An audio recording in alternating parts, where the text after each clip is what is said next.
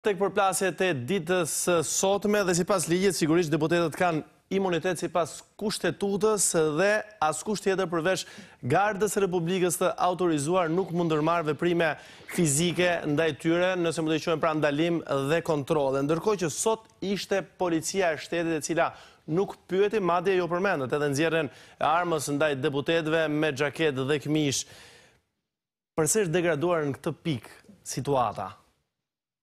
Apo është e qëllimshme për, për, edhe për publikun, që një, një qytetar që e sheh nga ekrani, kur sheh armën përballë deputetit, thotë, imagjino nesër ç'ndodh me mu, pra është më e gjerë si, si, si lëvizja.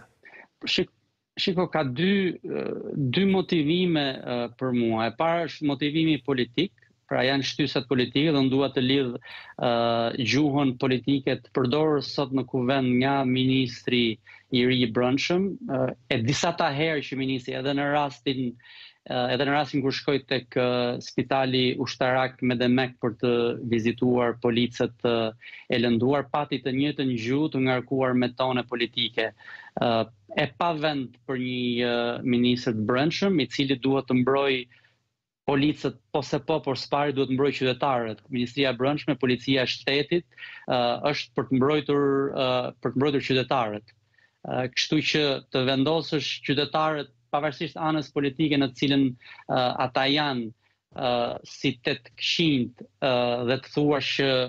policët edhe duke gënjyer se pati më shumë qytetarë të lënduar për atë punë sesa pati policë. Pra është ky motivim për ta përmbledhur, është ky motivim politik që vjen nga Ministri i Brendshëm, të cilit i vjen nga kryeministri,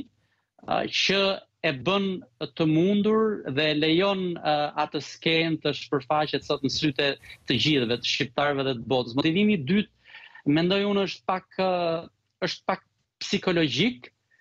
në kuptimin se ju i keni parë dosjet e